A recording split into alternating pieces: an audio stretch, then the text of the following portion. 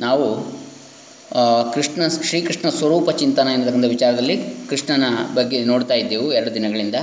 ಇವತ್ತು ಅದರ, ಅದನ್ನು ಮುಕ್ತಾಯ ಮಾಡಲಿಕ್ಕೆ ಪ್ರಯತ್ನ ಮಾಡೋಣ. ಹಾಗೆ ನಾಳೆಯಿಂದ ಮತ್ತೆ ಎಂದಿನಂತೆ ಸಚ್ಚಿದಾನಂದ ಸೂಕ್ತಿಗಳು ಅದನ್ನು ಮುಂದುವರಿಸಲಿಕ್ಕಿದ್ದೇವೆ.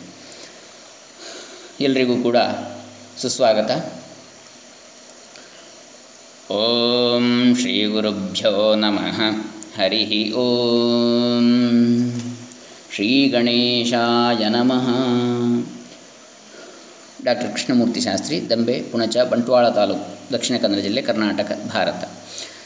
ಹಿಂದೆ ನಾವು ನಿನ್ನೆ ದಿವಸ ಉದ್ಧವ ಗೀತೆಯನ್ನು ನೋಡ್ತಾ ಇದ್ದೆವು. ಅಲ್ಲಿ ಉದ್ಧವ ಒಂದು ಪ್ರಶ್ನೆಯನ್ನು ಕೇಳ್ತಾನೆ ಅಂಥೇಳಿ ನೋಡಿದೆವು. ದುರುಳರ, ದುರ್ವರ್ತನೆಯ ಬಗ್ಗೆ ಭಕ್ತನಾದವನ ಪ್ರತಿಕ್ರಿಯೆ ಹೇಗಿರ್ತದೆ ಅಂಥೇಳಿ ಅದಕ್ಕೆ ಉತ್ತರವಾಗಿ ಕೃಷ್ಣ ಒಂದು ಕಥೆಯನ್ನು ಹೇಳ್ತಾನೆ. ಭಾಗವತದಲ್ಲಿ ಇದನ್ನು ಭಿಕ್ಷುಗೀತೆ ಅಂತೇಳಿ ಹೇಳ್ತಾರೆ. ದಯಾಹೀನರು ದುಷ್ಟರೂ ಆದಂತಹ ಜನರ ಕಿರುಕುಳವನ್ನು ಭಿಕ್ಷು ಒಬ್ಬ ಹೇಗೆ ಸಹಿಸಿಕೊಂಡ ಎನ್ನತಕ್ಕಂಥ ಕಥೆಯನ್ನು ಕೃಷ್ಣ ಹೇಳ್ತಾನೆ ಉದ್ದವನಿಗೆ.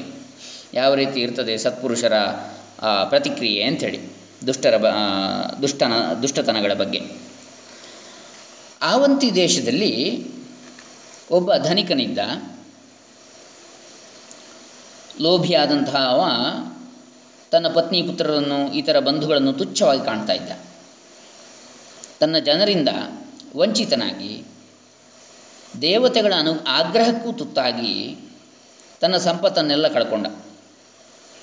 ಅವನು ಹೇಗೆ ತನ್ನ ಬಂಧುಗಳನ್ನು, ಪತ್ನಿ ಪುತ್ರರನ್ನು ತುಚ್ಛವಾಗಿ ಕಾಣ್ತಾ ಇದ್ದನೋ, ಆ ಕಾರಣವಾಗಿ ಅವರಿಂದ ಎಲ್ಲರಿಂದ ಅವನು ವಂಚನೆಗೊಳಗಾಗಲ್ಪಟ್ಟ. ಹಾಗೆ ದೇವತೆಗಳ ಆಗ್ರಹಕ್ಕೂ ಅವನು ತುತ್ತಾದ. ಯಾಕೆ? ಅವನು ಅಧರ್ಮ ಮಾರ್ಗದಲ್ಲಿ ಹೋದ ಕಾರಣ. ಹೀಗೆ ಸಂಪತ್ತನ್ನೆಲ್ಲ ಕಳ್ಕೊಂಡು ಅವನು ಅನುಭವಿಸಿದ ದುಃಖಗಳಿಂದ, ಕ್ಲೇಶಗಳಿಂದ ಅವನಲ್ಲಿ ವಿವೇಕ ಮೂಡಿ ಅವನಲ್ಲಿ ನೈಜವಾದಂತಹ ತ್ಯಾಗ ಪ್ರವೃತ್ತಿ ಉಂಟಾಯಿತು. ಅವಂತಿ ದೇಶದ ಧನಿಕನಿಗೆ, ಶ್ರೀಮಂತನಿಗೆ, ಧನವಾನ್, ಶ್ರೀಮಾನ್. ಸಂಚಾರಿ ಭಿಕ್ಷುವಾಗಿ ಜೀವಿಸತೊಡಗಿದ ಅದೇ ಧನಿಕ. ಹೇಗೆ ಪುರಂದರದಾಸರಿಗೆ ಆಯಿತೋ ಅದೇ ರೀತಿಯಲ್ಲಿ. ಪುರಂದರದಾಸರು ಗೋಪಾಳ ಬುಟ್ಟಿ ಹಿಡಿಸಿದಳಯ್ಯ ಅಂಥೇಳಿ ಹೆಂಡತಿಯ ಬಗ್ಗೆ ತುಂಬ ಹೊಗಳ್ತಾರೆ ಆಮೇಲೆ. ತನ್ನ ಉದ್ಧಾರಕ್ಕೆ ಅವಳೇ ಕಾರಣ ಆದಲು ಅಂಥೇಳಿ. ತನ್ನ ಲೋಭ, ಹಣದ ಆಸೆಯನ್ನು, ಜಿಪುಣತನವನ್ನು ಹೋಗಲಾಡಿಸಿ ತನ್ನ ಜ್ಞಾನ ಚಕ್ಷುವನ್ನು ತೆರೆದಂಥವಳು, ಭಗವದ್ಭಕ್ತಿಯನ್ನು ತನ್ನ ಜಾಗೃತಗೊಳಿಸಿದವಳು ಅಂಥೇಳಿ ಹೊಗಳ್ತಾನೆ. ಹೊಗಳ್ತಾರೆ ಪುರಂದ್ರದಾಸರು ಅದೇ ರೀತಿ ಇಲ್ಲಿ ಇವನು ಭಿಕ್ಷುವಾಗಿ ಬಿಟ್ಟ. ಧನಿಕನಾಗಿ ದುರ್ಮಾರ್ಗದಲ್ಲಿದ್ದವ. ಸಂಚಾರಿ ಭಿಕ್ಷುವಾಗಿ. ಅವನ ಹಿಂದಿನ ಸ್ಥಿತಿಯನ್ನು ಕಂಡಿದ್ದಂತಹ ದುಷ್ಟ ಜನ ಅವನನ್ನು ನಾನಾ ಬಗೆಯಲ್ಲಿ ಪೀಡಿಸತೊಡ್ಲಿಕ್ಕೆ ಪೀಡಿಸಲಿಕ್ಕೆ ಶುರು ಮಾಡಿದರು. ಹೇಗೆ ನಾವು ನೋಡ್ತೇವಲ್ಲ, ರೌಡಿಗಳು ಅಂತ ಯಾರಿರ್ತಾರೆ, ಬೇರೆಯವರಿಗೆ ತೊಂದರೆ ಕೊಡ್ತಾ ಇರ್ತಾರೆ, ಅವರು ಕೂಡ ಕೊನೆಗೆ, ಅವರು ಕೂಡ ಅದೇ ರೀತಿ ರೌಡಿಸಮ್ನಲ್ಲೇ ಸಾಯ್ತಾರೆ. ಬೇರೆಯವರನ್ನು ಕೊಲ್, ಕೊಲ್ತಾ ಇದ್ದಂಥವ್ರು. ಅದೇ ರೀತಿಯಲ್ಲಿ ದುಷ್ಟ ಜನರು, ಇವನು ಯಾವಾಗ ಸಾಧು ಆದ ಅಲ್ವಾ ಈಗ ಇವನು ಇವನೇನು ಪ್ರತಿಕ್ರಿಯೆ ತೋರಿಸೋದಿಲ್ಲಲ್ಲ ಹಾಗಾಗಿ ಅವ್ರಿಗೆ ಸುಲಭ ಆಯಿತು ಉಳಿದವರಿಗೆ. ಯಾರು ಇವನ ಕೈಯಿಂದ ತೊಂದರೆ ಪಡ್ಕೊಂಡಿದ್ರು ಮೊದಲು, ಈಗ ಅವರು ತೊಂದರೆ ಕೊಡಲಿಕ್ಕೆ ಶುರು ಮಾಡಿದರು ಇವನಿಗೆ. ಮಾತ್ರ ಅಲ್ಲ, ಕ್ರೂರವಾಗಿ ಅವನ ದೇಹಕ್ಕೂ ಬಾಧೆಯನ್ನು ಉಂಟು ಮಾಡ್ತಾ ಇದ್ರಂತೆ. ಮನಸ್ಸಿಗೆ ಮಾತ್ರ ಅಲ್ಲ ಚುಚ್ಚುವಂಥದ್ದು ತನಗಾಗುತ್ತಿದ್ದ ಹಿಂಸೆಯನ್ನೆಲ್ಲ, ಹಿಂಸೆಯೆಲ್ಲ ತನ್ನ ದುಷ್ಕರ್ಮದ ಫಲವೇ ಎಂಬುದನ್ನು ಅರಿತಂತಹ ಅವ ಅಪ್ರತೀಕಾರ ಬುದ್ಧಿಯಿಂದ. ಯಾವುದೇ ಪ್ರತೀಕಾರ ಬುದ್ಧಿ ಇಲ್ಲದೆ ಹಿಂಸೆ ಮಾಡುತ್ತಿದ್ದರ ಬಗ್ಗೆ ಯಾವ ರೀತಿಯಲ್ಲೂ ಪ್ರತಿಸ್ಪಂದನ ಮಾಡದೆ, ಅವರ ಬಗ್ಗೆ ದ್ವೇಷ, ಮತ್ಸರಗಳಿಗೆ ಎಡೆ ಕೊಡದೆ ಸಹನಶೀಲತೆಯ ತೀವ್ರವಾದ ಸಾಧನೆಯಲ್ಲಿ ನಿರತನಾದಂತೆ ಆ ಭಿಕ್ಷು ಚಿನ್ನದ ಗಣಿಯ ಶಿಲೆಗಳಲ್ಲಿ ಅಪರೂಪವಾಗಿ ಹೊರಹೊಮ್ಮುವಂತಹ ಅಪರಂಜಿಯ ಗಟ್ಟಿಯಂತಹ ಅಪಾರ ಆಧ್ಯಾತ್ಮಿಕ ಸತ್ವದ ತನ್ನ ಮನಸ್ಸಿಗೆ ತಾನೇ ಹೇಳಿಕೊಳ್ಳುವಂತಹ ಆತ್ಮ ನಿವೇದನಾರೂಪವಾದ ಗೀತೆಯೊಂದನ್ನು ಹಾಡಿದ. ಅದನ್ನೇ ಭಿಕ್ಷುಗೀತೆ ಅಂತೇಳಿ ಕರೆದರು. ಆ ಗೀತೆಯ ತಾತ್ಪರ್ಯ ಹೇಗಿದೆ, ತನ್ನ ನಲಿವು ನೋವುಗಳಿಗೆ ತನ್ನ ಮನವೇ ಹೊಣೆ. ಬಹಳ ಮುಖ್ಯವಾದ ವಿಚಾರಗಳಿವೆ ನಮ್ಮ ಬದುಕಿಗೆ ಪಾಠ.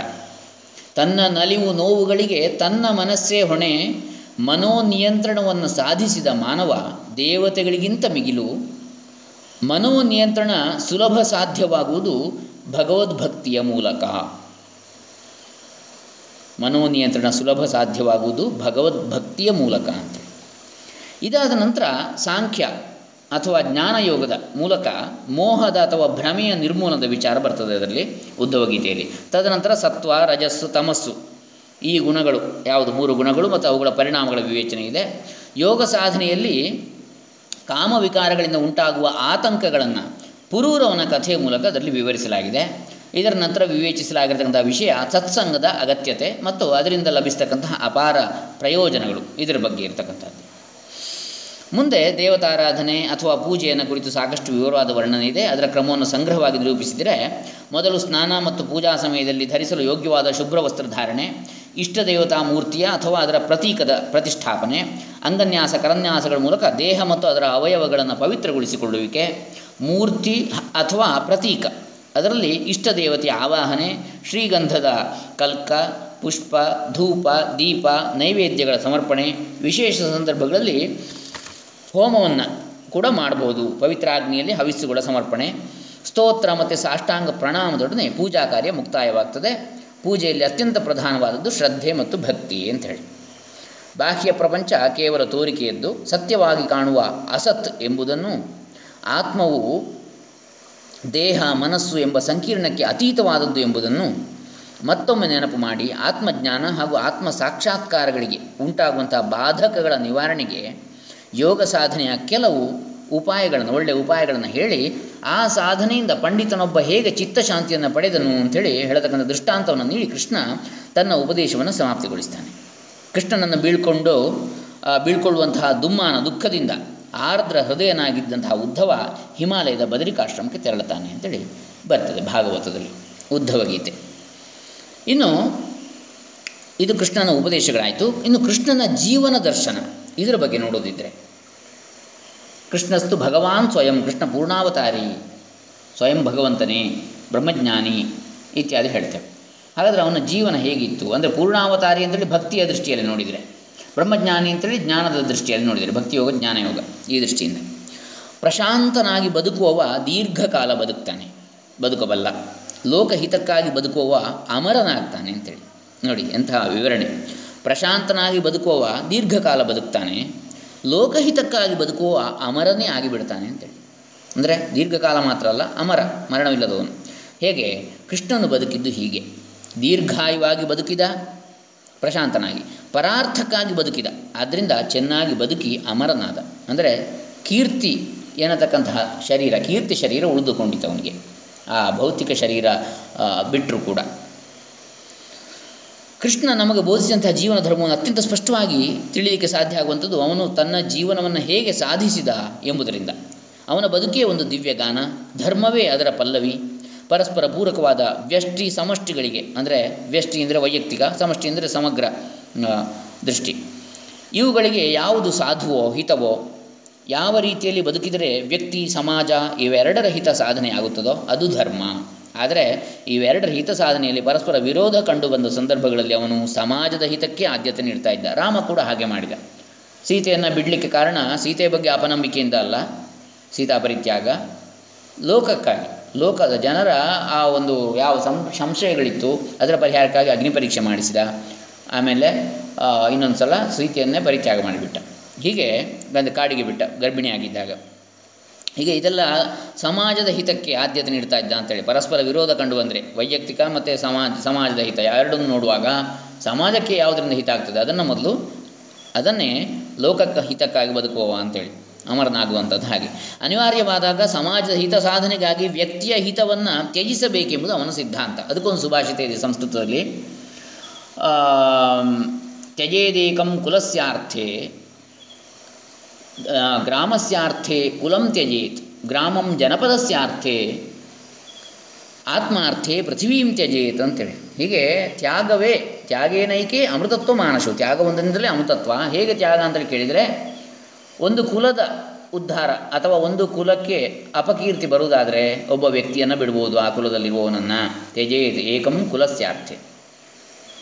ಇನ್ನು ಗ್ರಾಮಸ್ಯಾರ್ಥೆ ಕುಲಂ ತ್ಯಜೇತ್. ಒಂದು ಗ್ರಾಮ ಒಂದು ಕುಲ, ಒಂದು ವಂಶದಿಂದ ಹಾಳಾಗ್ತದೆ, ಒಂದು ಗ್ರಾಮಕ್ಕೆ ಅಪಕೀರ್ತಿ ಅಥವಾ ತೊಂದರೆ ಆಗ್ತದೆ ಅಂತೇಳಿ. ಆದರೆ ಆ ಗ್ರಾಮ ಬಾಹಿರರನ್ನಾಗಿ ಆ ಕುಲವನ್ನೇ ಮಾಡ್ಬೋದು, ಗ್ರಾಮ ಗ್ರಾಮ ಬಾಹಿರ ಅಂತೇಳಿ. ಗ್ರಾಮಂ ಜನಪದಸ್ಯ ಅರ್ಥೆ ಜನಪದಸ್ಯ ಅರ್ಥೆ ಒಂದು ಜನಪದ, ಒಂದು ನಾಡು. ಒಂದು ನಾಡು ನುಡಿಗೆ ಯಾವಾಗ ಒಂದು ಗ್ರಾಮದಿಂದ ತೊಂದರೆ ಆಗ್ತದೋ ಆವಾಗ ಆ ಗ್ರಾಮವನ್ನೇ ಹೊರಗೆ ಹಾಕ್ಬೋದು ಅಂತ ಆ ಜನಪದದಿಂದ ಎನ್ನುವಂತಹ ನೀತಿ. ಯಾಕಂದರೆ ಅಲ್ಲಿ ಸಮಷ್ಟಿ ದೊಡ್ಡದು, ಮುಖ್ಯವಾದ್ದು, ಸಣ್ಣದಲ್ಲ. ವಿಶಾಲ ದೃಷ್ಟಿಯಲ್ಲಿ ನೋಡುವಾಗ ಯಾವುದು ಮುಖ್ಯ?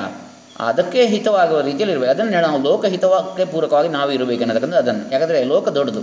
ಅಲ್ಲಿ ತುಂಬ ಪಾತ್ರಗಳಿವೆ. ಎಲ್ಲ ಪಾತ್ರಗಳಿಗೂ ನಾವು ನಮ್ಮ ಸ್ವಾತಂತ್ರ್ಯ ಇನ್ನೊಬ್ಬರಿಗೆ ಪರತಂತ್ರತೆಯನ್ನು ಉಂಟು ಮಾಡಬಾರ್ದು ಎನ್ನತಕ್ಕಂಥದ್ದು. ಸ್ವೇಚ್ಛೆ ಆಗಬಾರ್ದು ಸ್ವಾತಂತ್ರ್ಯ ಎನ್ನತಕ್ಕಂಥದ್ದು ಅಂತೇಳಿ ಹೀಗೆ ಗ್ರಾಮಸ್ಯಾರ್ಥೆ ಗ್ರಾಮಂ ಜನಪದಸ್ಯ ಜನಪದಸ್ಯಾರ್ಥೆ ಆಮೇಲೆ ಆತ್ಮಾರ್ಥೆ ಪೃಥಿವೀಂ ತ್ಯಜೇತು. ಇದೇನು ಅಂತ ಕೇಳಿದರೆ ತನಗಾಗಿ ಎನ್ನುವ ಅರ್ಥದಲ್ಲೆಲ್ಲ ಭೂಮಿಯನ್ನೇ ಬಿಡಬೇಕು ಅಂತೇಳಿ. ಆದರೆ ಉದ್ಧಾರಕ್ಕಾಗಿ. ಯಾವ? ಆತ್ಮ ಉದ್ಧಾರ. ಅಂದರೆ ತನ್ನ ಸಮಗ್ರವಾದಂತಹ ಯಾವ ಆಧ್ಯಾತ್ಮಿಕ ಮಾರ್ಗದಲ್ಲಿ ಏನು ಉದ್ಧಾರ ಅಂತೇಳಿ ನಾವು ಹೇಳ್ತೇವೆ. ಆತ್ಮೋದ್ಧಾರ. ಆತ್ಮನ ಆತ್ಮನಾತ್ಮ ತನ್ನಿಂದಲೇ ತಾನು ಉದ್ಧಾರ ಮಾಡಿಕೊಳ್ಬೇಕು. ಆವಾಗ ಪೃಥ್ವೀಂ ತ್ಯಜೇತ್ ಭೂಮಿಯನ್ನೇ ಬಿಡಬೇಕು ಅಂದರೆ ಏನರ್ಥ ಅಂದರೆ ನಮಗೆ ನಮ್ಮ ಆಸ್ತಿಪಾಸ್ತಿಗಳಿದ್ದರೆ ಅದನ್ನು ಕೂಡ ನಾವು ಬಿಡಬಹುದು ನಮ್ಮ ಉದ್ಧಾರಕ್ಕೆ ಬೇಕಾಗಿ. ಅಥವಾ ಈ ಭೂಮಿಯ ಮೇಲಿನ ಮೋಹವನ್ನು ನಾವು ಬಿಡಬೇಕು ಅಂತೇಳಿ ಲೌಕಿಕ ಸುಖ ಭೋಗಗಳು ಯಾವಿವೆ? ಅದನ್ನು ನಾವು ಆಧ್ಯಾತ್ಮಿಕ, ಆತ್ಯಂತಿಕ ಸುಖ ಸಂತೋಷಗಳನ್ನು ಆನಂದವನ್ನು ಹೊಂದಬೇಕಾದ್ರೆ ಇದನ್ನು ನಾವು ಬಿಡಬೇಕಾಗ್ತದೆ. ಅಂದರೆ ನೇರವಾಗಿ ನಾವು ಅದರಲ್ಲಿ ಇದ್ದರೂ ಕೂಡ ನೇರ, ಅದರ ಬಂಧಗಳಿಂದ ನಾವು ಕಳಚಿಕೊಂಡು ಅಂಟದೇ ಇರಬೇಕು ಎನ್ನತಕ್ಕಂಥದ್ದು ಇದರ ಸಾರ. ಇರಲಿ. ಹೀಗೆ ಇಲ್ಲಿ ಏನು ಹೇಳ್ತಾ ಇದ್ದಾರೆ ಅಂದರೆ ನಾವು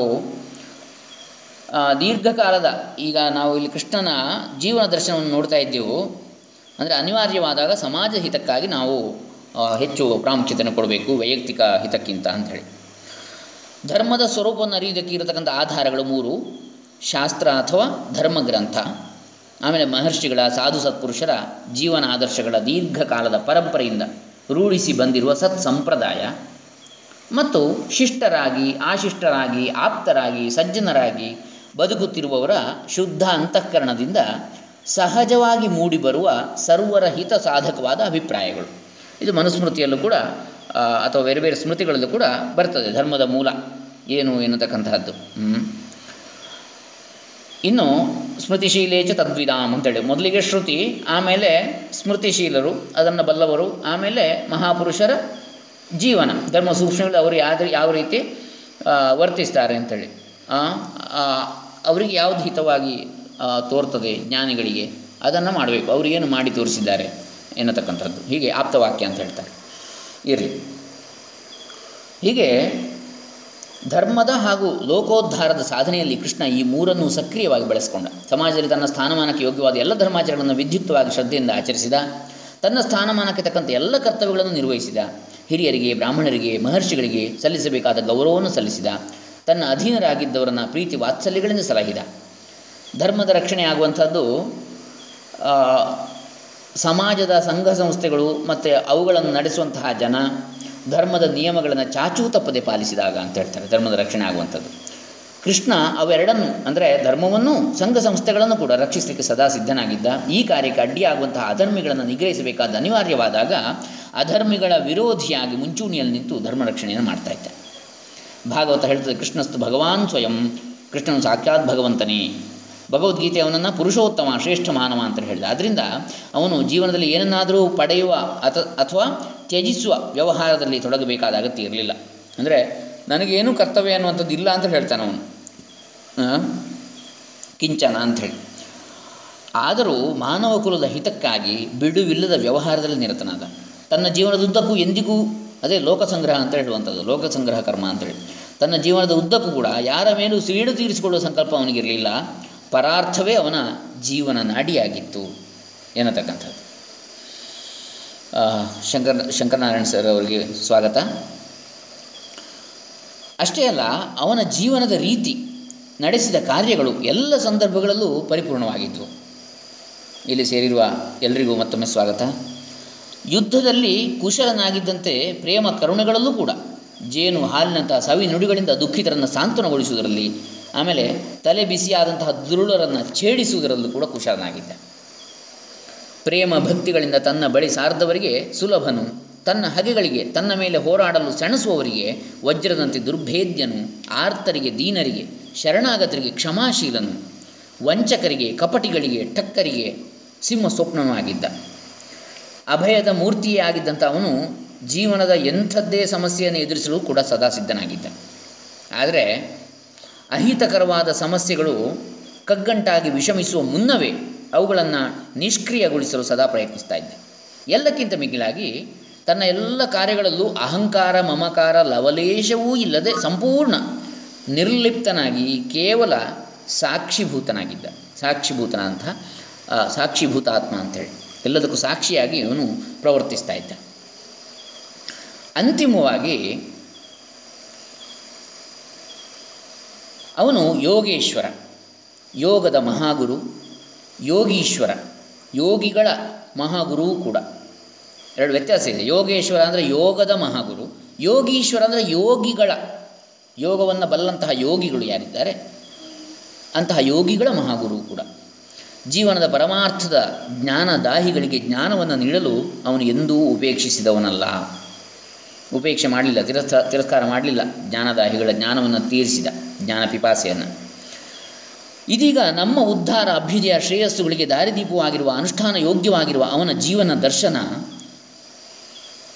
ಧರ್ಮಕ್ಕಾಗಿ, ಪರಾರ್ಥಕ್ಕಾಗಿ, ಲೋಕಹಿತಕ್ಕಾಗಿ ನಿರಂತರವಾಗಿ ದುಡಿ ಎಂದೆಂದಿಗೂ ಸ್ವಾರ್ಥಿಯಾಗದಿರು. ನಿನ್ನ ಎಲ್ಲ ಕರ್ತವ್ಯಗಳನ್ನು ಸಾಧ್ಯವಾದಷ್ಟು ಕುಶಲತೆಯನ್ನು ನಿರ್ವಹಿಸು. ಯೋಗ ಕರ್ಮಸು ಕೌಶಲಂ. ಸಮತ್ವಂ ಯೋಗ ಉಚ್ಯತೆ. ಯೋಗ ಚಿತ್ತವೃತ್ತಿ ನಿರೋಧ. ಇತ್ಯಾದಿ ವಿವರಣೆಗಳಿವೆ. ಯೋಗ ಅಂದರೆ ಏನು ಅಂತೇಳಿ ಕೇಳಿದರೆ. ಸಮತ್ವವೇ ಯೋಗ ಅಂತೇಳಿ. ಎಲ್ಲದರಲ್ಲೂ ಸಮಾನವಾಗಿರುವಂಥದ್ದು ಅಂದರೆ ಲಾಭ, ನಷ್ಟ ಏನಾದರೂ ಕೂಡ. ಸುಖ, ದುಃಖ ಏನು ಬಂದರೂ ಕೂಡ ಸಮಚಿತ್ತತೆ. ಅದನ್ನು ಸ್ಥಿರ ಬುದ್ಧಿ ಅದೇ ಯೋಗ ಅಂತ ಹೇಳಿ ಇನ್ನು ಯೋಗ ಕರ್ಮಸು ಕೌಶಲಂ. ನಾವು ಮಾಡುವ ಕರ್ಮ ಯಾವುದಿದೆ ಅದನ್ನು ಆದಷ್ಟು ಹೆಚ್ಚು ಕೌಶಲ್ಯದಿಂದ ಕುಶಲತೆಯಿಂದ ಮಾಡತಕ್ಕಂಥದ್ದು ಯಾವುದಿದೆ, ಅದೇ ಯೋಗ ಅಂತೇಳಿ ಹೇಳ್ತಕ್ಕಂಥದ್ದು. ಒಬ್ಬ ಬಡಗಿ ಕೆತ್ತನೆ, ಸುಂದರವಾದ ಮೂರ್ತಿಯ ಕೆತ್ತನೆಯನ್ನು ಮಾಡ್ತಾನೆ. ಒಬ್ಬ ಶಿಲ್ಪಿ ಇರ್ಬೋದು, ಬಡಗಿ ಇರ್ಬೋದು. ಅದು ಒಂದು ಯೋಗ, ಆ ಕಲೆ. ಅಲ್ಲಿ ಅವನು ಸಮಾಧಿ ಸ್ಥಿತಿಯಲ್ಲಿ ಅಂದರೆ ಅದರಲ್ಲೇ ತನ್ಮಯನಾಗಿರಬೇಕಾಗ್ತದೆ. ಹೀಗೆ, ಧರ್ಮದ ಸಾಧನೆಗಾಗಿ ಜೀವನವನ್ನು ವಿನಿಯೋಗಿಸು. ಅದು ಅಂದರೆ ಧರ್ಮವು ನಿನ್ನನ್ನು ರಕ್ಷಿಸುವುದೆಂಬ ಶ್ರದ್ಧೆ ಅಚಲವಾಗಿರಲಿ. ಜೀವನದಲ್ಲಿ ಸಮಸ್ಯೆಗಳು ಉಂಟಾದಾಗ ಹೇಡಿಯಂತೆ ಹಿಮ್ಮೆಟ್ಟದಿರು, ಅವುಗಳನ್ನು ಧೈರ್ಯವಾಗಿ ಎದುರಿಸು. ಸರ್ವಶಕ್ತನಾದ ಭಗವಂತನನ್ನು ಪ್ರಾರ್ಥಿಸು. ಅವನು ಸಮಸ್ಯೆಗಳನ್ನು ಎದುರಿಸುವುದಕ್ಕೆ ಅಥವಾ ಅವುಗಳಿಗೆ ಅತೀತನಾಗಿ ಬದುಕುವುದಕ್ಕೆ ಬೇಕಾದ ಶಕ್ತಿಯನ್ನು ನೀಡ್ತಾನೆ. ಮೋಕ್ಷವೇ ಜೀವನದ ಪರಮಗುರಿ ಎಂಬುದನ್ನು ಎಂದೆಂದಿಗೂ ಮರೆಯದಿರು. ಜ್ಞಾನ ಭಕ್ತಿಗಳ ಮೂಲಕ ಅದನ್ನು ಪಡೆಯಲು ನಿನ್ನ ಕೈಲಾದಷ್ಟು ಪ್ರಯತ್ನಿಸು. ಮುಕ್ತನಾಗು. ಇದು ಈ ಮಹಾದರ್ಶನದ ಸಾರಾಂಶ ಅಂತ ಹೇಳ್ತಾರೆ ಸ್ವಾಮಿ ಹರ್ಷಾನಂದಜಿ ಮಹಾರಾಜ್ ಅವರು. ಶ್ರೀಕೃಷ್ಣ ಕಥಾ ಸಾರಸರ್ವಸ್ವ ಎನ್ನತಕ್ಕಂಥ ಕೃತಿಯಲ್ಲಿ. ಇನ್ನು ನಾವು ರಾಧೆಯ ಬಗ್ಗೆ ಇದರಲ್ಲಿ ನೋಡಲಿಕ್ಕಿದ್ದೇವೆ, ವಿಚಾರ. ಹಿಂದೂ ಧಾರ್ಮಿಕ ಪರಂಪರೆಯಲ್ಲಿ ರಾಧಾಕೃಷ್ಣರ ಅತ್ಯಂತ ನಿಕಟ ಸಂಬಂಧದ ಪ್ರಸಂಗವಿದೆ. ಆದರೂ ಅದನ್ನು ಕುರಿತು ಒಂದೆರಡು ಮಾತುಗಳು ಇಲ್ಲಿ ನಾವು ನೋಡೋಣ ಈಗ.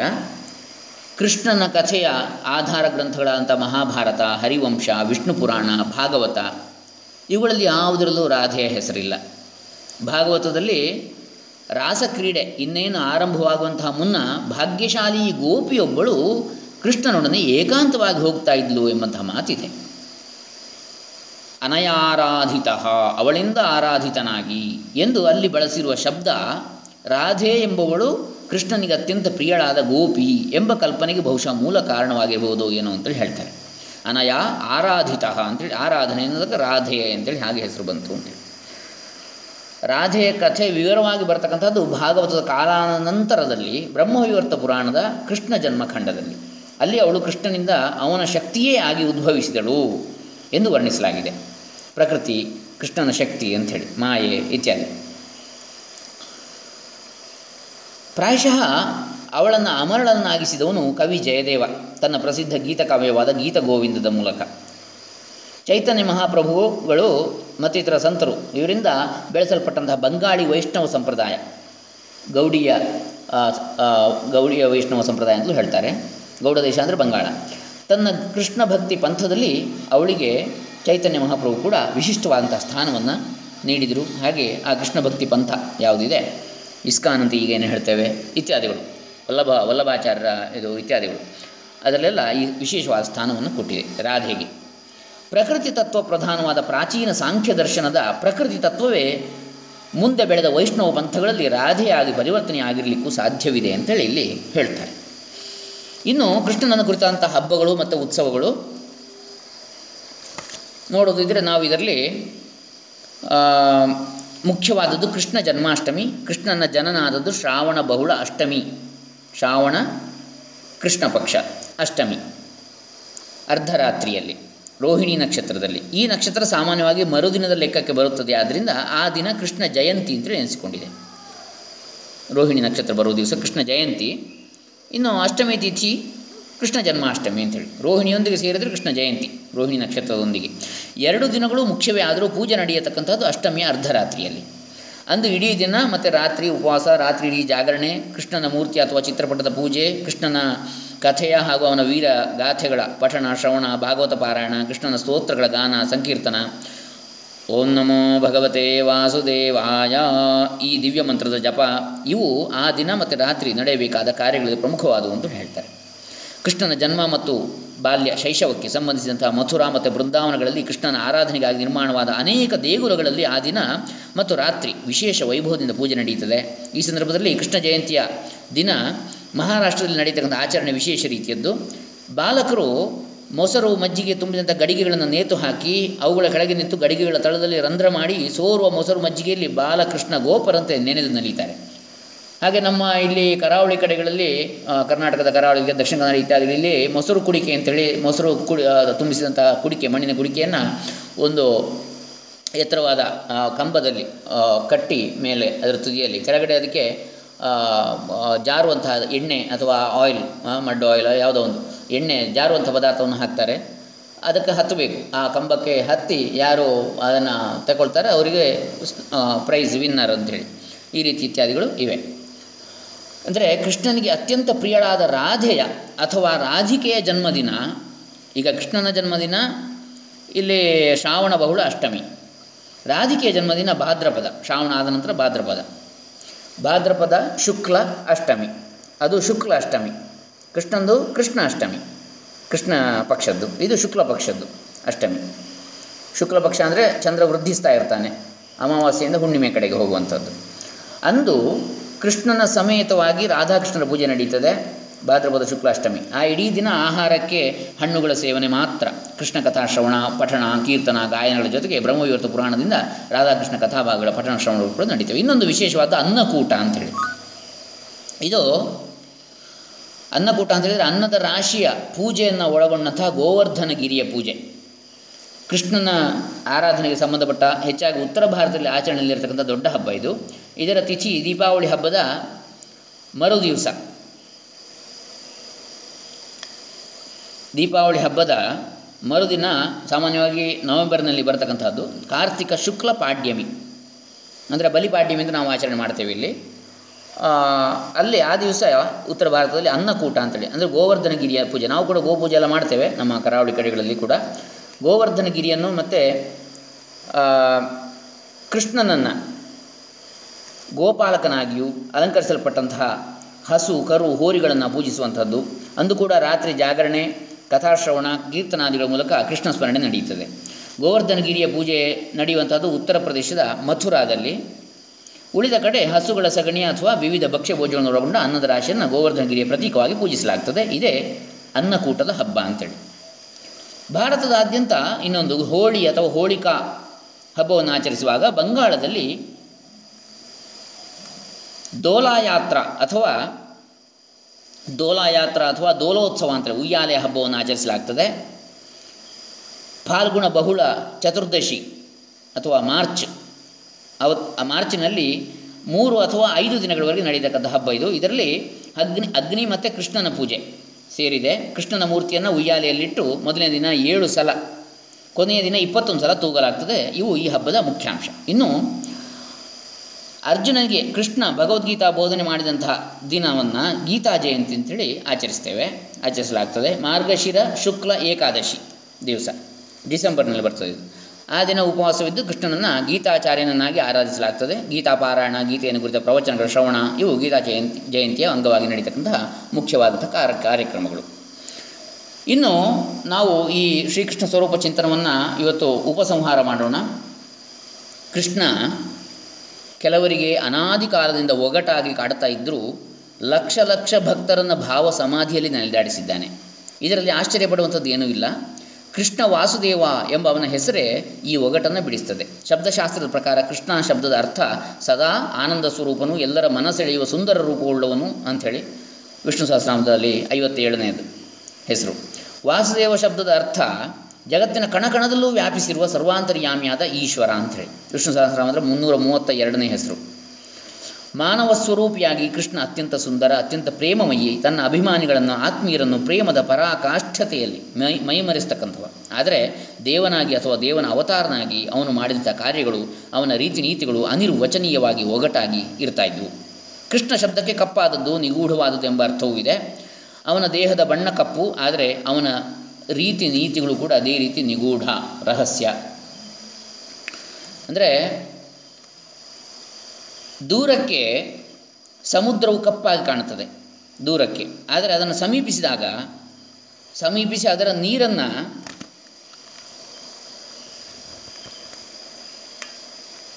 ಕೈಯಲ್ಲಿ ತುಂಬಿಕೊಂಡಾಗ ಬಣ್ಣವಿಲ್ಲದೆ ತಿಳಿಯಾಗಿರ್ತದೆ. ಹಾಗೆಯೇ ಅವನನ್ನು ದೂರದಿಂದ ನೋಡುವವರಿಗೆ ಕೃಷ್ಣ ಕಪ್ಪು. ಕಗ್ಗಂಟು, ಒಗಟು, ಪ್ರೇಮ ಭಕ್ತಿಗಳಿಂದ ಅವನ ಬಳಿ ಸಾರದವರಿಗೆ ಅವನ ಬಗ್ಗೆ ತಪ್ಪು ಅರಿವಿನ ಮಂಜು ಮಾಯವಾಗಿ ಅವನ ಆನಂದ ಸ್ವರೂಪದ ಹಾಗೂ ಸನಾತನತ್ವದ ದಿವ್ಯ ಸುಸ್ಪಷ್ಟ ದರ್ಶನವಾಗ್ತದೆ. ಜನ ಯಾವ ಯಾವ ರೂಪದಲ್ಲಿ ನನ್ನನ್ನು ಕಾಣಲು ಅಪೇಕ್ಷಿಸುವರು ಆಯಾ ರೀತಿಯಲ್ಲಿ ಅವರಿಗೆ ದರ್ಶನ ನೀಡ್ತೇನೆ ಅಂತೇಳಿ ಕೃಷ್ಣನ ವಾಣಿ ಇದೆ ಭಗವದ್ಗೀತೆಯಲ್ಲಿ. ಇದು ಸನಾತನವಾದ ಸತ್ಯ. ಅವನನ್ನು ನಾವು ಸಮಸ್ಯಾತ್ಮಕನಾದ ಕೃಷ್ಣ ಅಂತೇಳಿ ನೋಡಿದರೆ ಅವನು ನಮಗೆ ಹೆಚ್ಚು ಹೆಚ್ಚು ಸಮಸ್ಯೆಗಳನ್ನು ಒಡ್ಡುವ ಒಡ್ಡುವಂಥವನಾಗ್ತಾನೆ ಹಾಗಲ್ಲದೆ ಅವನನ್ನು ನಾವು ಮಾನವ ರೂಪದ ಯದ್ಭಾವಂ ತದ್ಭವತಿ ಅಂತೇಳಿ ಮಾನವ ರೂಪದ ದೇವ ಎಂಬುದನ್ನು ಅರಿತು ಅವನ ಬಳಿ ಸಾರಿದರೆ ಅಪಾರ ಔದಾರ್ಯದಿಂದ, ಕೃಪೆಯಿಂದ ನಮ್ಮ ಸಮಸ್ಯೆಗಳನ್ನೆಲ್ಲ ಪರಿಹರಿಸ್ತಾನೆ. ಶತ ಶತಮಾನಗಳಲ್ಲಿ ಲೋಕವನ್ನು ಬೆಳಗಿದ ಅಸಂಖ್ಯಾತ ಅನುಭಾವಿಗಳು, ಭಕ್ತರು ಕೂಡ ಇದಕ್ಕೆ ಜ್ವಲಂತ ಸಾಕ್ಷಿ ಅಂತೇಳಿ ನಾವು ಕಾಣ್ತಾ, ಅಂದರೆ, ಯೇ ಯಥಾ ಮಾಂ ಪ್ರಪದ್ಯಂತೆ ತಾವು ತಥೈವ ಭಜಾಮ್ಯಹಂ, ಮಮ ವರ್ತಮಾನ ವರ್ತಂತೆ ಮನುಷ್ಯಾ ಪಾರ್ಥ ಸರ್ವಶಾಂತ ಭಗವದ್ಗೀತೆಯಲ್ಲಿ ಹೇಳಿದ್ದು, ಯಾರ್ಯಾರು ಯಾವ್ಯಾವ ರೀತಿಯಿಂದ ನನ್ನನ್ನು ಭಜಿಸ್ತಾರೋ, ಅದೇ ಅದೇ ರೀತಿಯಲ್ಲಿ ನಾನು ಅವರಿಗೆ ತೋರ್ತೇನೆ. ಅದೇ ಆ ರೀತಿಯಲ್ಲಿ ಅವರಿಗೆ ನಾನು ಅವರವರ ಇಷ್ಟಾರ್ಥಗಳನ್ನು ಈಡೇರಿಸ್ತೇನೆ ಅಂಥೇಳಿ ಹೇಳಿದ್ದು ಕೃಷ್ಣ. ಹೀಗೆ ನಾವು ಇದಕ್ಕೆ ಮುಕ್ತಾಯವನ್ನು ಹಾಡೋಣ. ಈ ಒಂದು ಶ್ರೀಕೃಷ್ಣ ಸ್ವರೂಪ ಚಿಂತನ. ಇನ್ನು ನಾಳೆ ದಿವಸ ನಾವು ಮತ್ತೆ ಸಚ್ಚಿದಾನಂದ ಸೂಕ್ತಿಗಳನ್ನು ಮುಂದುವರಿಸಲಿಕ್ಕಿದ್ದೇವೆ. ಹರೇ ರಾಮ, ಶ್ರೀಕೃಷ್ಣ ಅರ್ಪಣಮಸ್ತು ಸರ್ವೇ ಜನ ಸುಖಿನೋ ಭವಂತು. ದಯವಿಟ್ಟು ಯಾರಾದರೂ ಮಾತಾಡುವ ಅಥವಾ ಚರ್ಚಿಸುವ ವಿಚಾರ ಹಂಚುವಂತಹ ಆಸಕ್ತರಿದ್ದರೆ ದಯವಿಟ್ಟು ಬನ್ನಿ. ಓಂ ತತ್ಸತ್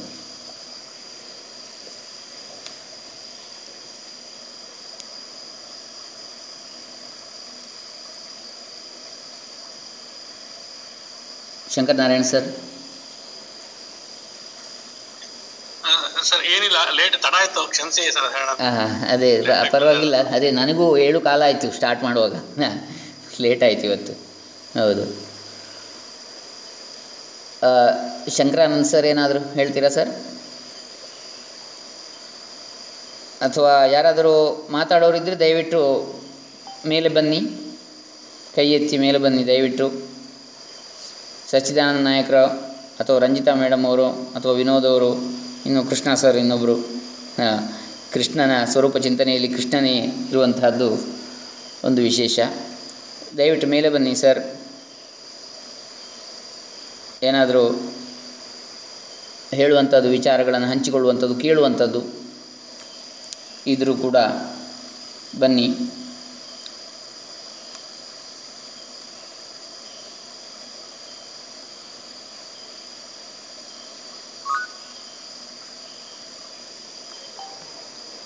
ನಮಸ್ತೆ.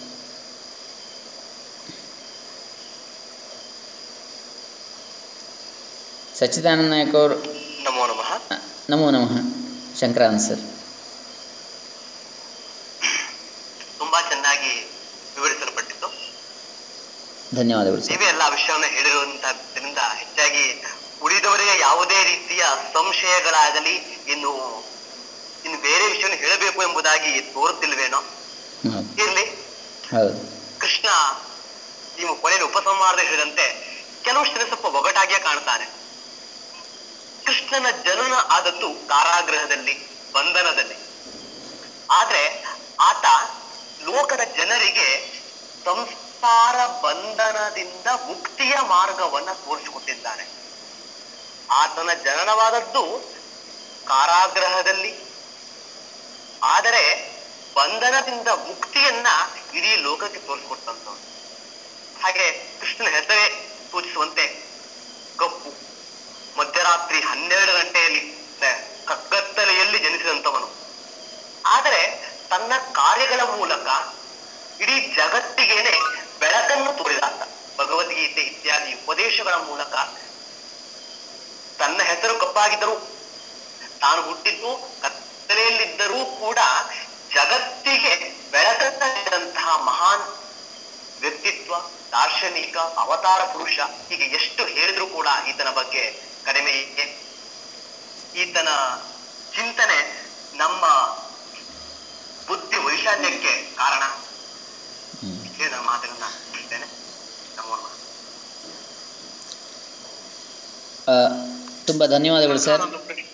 ಹಾ ಸರ್. ಪ್ರಶ್ನೆ ಇದೆ ಅದು ಕೇಳಬಹುದಾ ಸರ್? ಹಾಂ ಕೇಳಿ ಸರ್ ಆ, ಸರ್, ಏನಿಲ್ಲ ಭಗವದ್ಗೀತೆಯಲ್ಲಿ ಅವಸ್ಥಾತ್ರಯದ ಬಗ್ಗೆ ಹೇಳಿದಾರಾ ಹೌದು, ಅದೇ, ಅದೊಂದು ಕಾಣಿಸ್ತಾ ಇಲ್ಲ, ಅವಸ್ಥಾತ್ರಯದ ಬಗ್ಗೆ, ಭಗವದ್ಗೀತೆಯಲ್ಲಿ.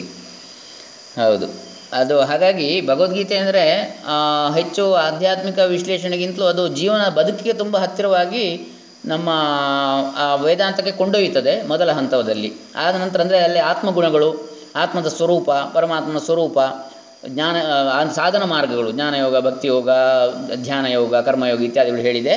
ಆ ನಂತರ ನಾವು ವೇದಾಂತಕ್ಕೆ ಒಳ್ಳೆಯ ಪ್ರವೇಶ ಸಿಗ್ತದೆ ಭಗವದ್ಗೀತೆಯ ಮೂಲಕ. ಹಾಗಾಗಿ ಅವಸ್ಥಾತ್ರಯ ವಿವೇಚನೆ ಅಲ್ಲಿ ಬಂದಿಲ್ಲ. ಯಾಕಂದರೆ ಬಹುಶಃ ಅದನ್ನು ಬಿಟ್ಟಿದ್ದಾರೆ ಅಲ್ಲಿ. ಅಂದರೆ ಒಂದು ಸ್ವಲ್ಪ ಇರಲಿ ಅಂತೇಳಿ, ಇನ್ನು ಬೇರೆ ಇದರಲ್ಲೂ ಎಲ್ಲ ಅದರಲ್ಲಿ ಹೇಳಿಬಿಟ್ರೆ ಬೇರೆ ಏನನ್ನು ಓದಬೇಕಾಗೋದಿಲ್ಲ. ಹಾಗಾಗಿ, ಅಲ್ಲಿ ಸುಮ್ಮನೆ ತಮಾಷೆಗೆ ಹೇಳಿದೆ. ಅದು ನಮ್ಮ ಶತಾವಧಾನಿ ಆರ್ ಗಣೇಶ್ ಅವರ ಪ್ರವಚನದಲ್ಲೂ ಕೂಡ ನಾನು ಕೇಳಿದೆ ಆ ವಿಚಾರ. ಭಗವದ್ಗೀತೆಯಲ್ಲೂ ಕೂಡ ನಾವು ಓದಿದಾಗ ಎಲ್ಲೂ ಕಾಣೋದಿಲ್ಲ, ಅವಸ್ಥಾತ್ರಯಗಳ ಬಗ್ಗೆ ಕಾಣೋದಿಲ್ಲ. ಹೌದು. ನಮಸ್ತೆ.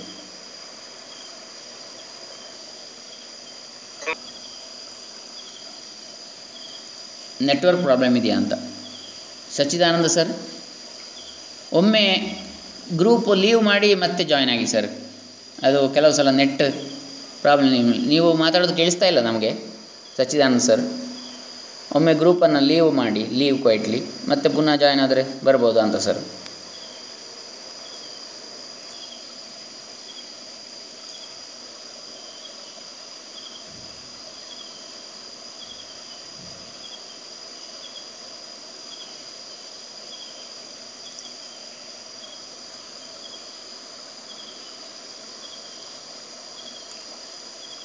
ಆ, ಸರಿ ಸರ್, ಹಾಗಾದರೆ ಇದನ್ನು ಸಚ್ಚಿದಾನಂದ ಸರ್ ಮಾತಾಡ್ತೀರಾ ಸರ್? ಕೇಳಿಸ್ಲಿಲ್ಲ ನೀವು ಆಗ ಮಾತಾಡಿದ್ದು. ಸರಿ, ಇವತ್ತು ಮುಕ್ತಾಯ ಮಾಡೋಣ. ನಾಳೆ ಬನ್ನಿ ಎಲ್ಲರೂ ನಾಳೆ ಮುಂದುವರಿಸೋಣ. ಇದು ಸಚ್ಚಿದಾನಂದ ಸೂಕ್ತಿಗಳು. ಅದನ್ನು ಮತ್ತೆ ಮುರ, ಮುಂದುವರಿಸೋಣ. ಹಿಂದಿದ್ದು ಬಾಕಿ. ಹಾಂ ನಮಸ್ತೆ ಸರ್. ಹೇಳಿ. ಹಲೋ ನಮಸ್ಕಾರ. ನಾನು ರೈಲ್ವೆ ಒಂದು ಡ್ರೈವಿಂಗ್ ಅಲ್ಲಿ ಇದ್ದೇನೆ. ಹಾ ಸರಿ ಸರಿ ಸರಿ. ಹೌದೌದು. ಬಹಳ ಸ್ವಲ್ಪ ಸ್ವಲ್ಪ ಕೇಳಿದೆ. ಹಾ, ಹಾ. ಕಟ್ ಆಗ್ತಾ ಇತ್ತು. ಅದೇ ಅದೇ ಮತ್ತೆ ಲೇಟ್ ಆಗಿ ನಾನುವಾಗ ಸರಿ ಸರಿ. ಕಾರ್ಯಕ್ರಮ. ಹಾಂ ಹೋಯ್ತು ಓಕೆ. ಸರಿ ನಾಳೆ ಎಲ್ಲರೂ ಕೂಡ ಮತ್ತೆ ಸೇರೋಣ ಏಳು ಗಂಟೆಗೆ. ಸಚ್ಚಿದಾನಂದ ಸೂಕ್ತಿಗಳು ಮುಂದುವರಿದ ಭಾಗ ಆ, ಸರ್ ಹೇಳ್ತೀರಾ? ಓಕೆ ನಾಳೆ ಸಿಗೋಣ ಸರ್. ನಿಮಗೆ ರೇಂಜ್ ಇಲ್ಲ ಕಾಣ್ತದೆ ಜರ್ನಿಯಲ್ಲಿ ನಾಳೆ ದಯವಿಟ್ಟು ಬನ್ನಿ. ಹರೇ ರಾಮ ಹರೇ ಕೃಷ್ಣ. ಸರ್ವೇ ಜನ ಸುಖಿನೋ ಭವಂತು. ಓಂ ತತ್ಸತ್. ಶಂಕರ್ ಸರ್? ಧನ್ಯವಾದಗಳು ಸರ್. ಧನ್ಯವಾದಗಳು. Sir. Thank you Shankarananda sir ಎಲ್ಲರಿಗೂ ಕೂಡ ಸಚ್ಚಿದಾನಂದ್ ಸರ್ ಇಲ್ಲಿ ಸೇರಿರುವ ಎಲ್ಲರಿಗೂ ಕೂಡ ಮತ್ತೊಮ್ಮೆ ಪ್ರೀತಿಯ ಧನ್ಯವಾದಗಳು. ಹಾಗೆ ನಾಳೆ ಕಾರ್ಯಕ್ರಮಕ್ಕೆ ಸುಸ್ವಾಗತ. ಓಂ ತತ್ಸತ್.